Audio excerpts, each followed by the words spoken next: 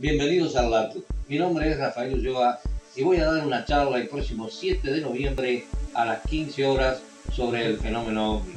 Yo he tenido contacto en Perú en el año 1968 y también en la estancia de la Aurora aquí en el Uruguay. Mostraremos videos que comprueban la verdadera existencia extraterrestre en el planeta.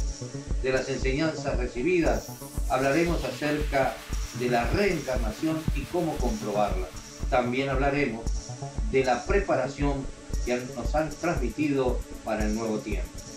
Tendremos un stand abierto del 5 al 7 de noviembre de 13 a 22 horas. Los esperamos.